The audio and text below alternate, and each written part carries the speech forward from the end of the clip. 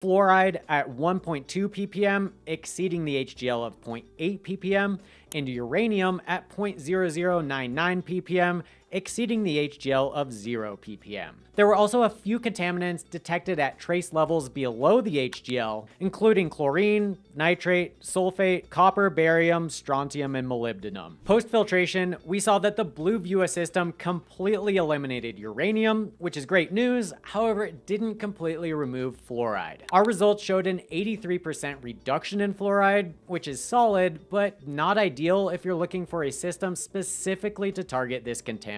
The system also completely removed chlorine, nitrate, sulfate, copper, and molybdenum, and reduced barium by 77%, and strontium by 75%. And while these results are pretty good, we've tested other countertop RO systems that achieved even more thorough contaminant reduction. As I mentioned, we tested the upgraded Blue model with integrated UV and remineralization. Now, our untreated water test did not detect any bacteria, which makes sense because it's treated with chlorine, so I don't have any data on the effectiveness of the UV in this system. That said, I think the UV component of this system is really to protect against the growth or buildup of bacteria within the unit itself, and I would not recommend using it to filter water that's microbiologically unsafe like river